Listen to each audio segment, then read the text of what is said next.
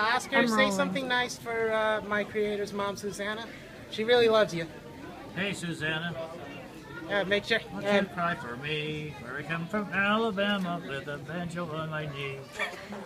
thanks, Oscar. Hey, you look like pretty good. Get Oscar! Sorry.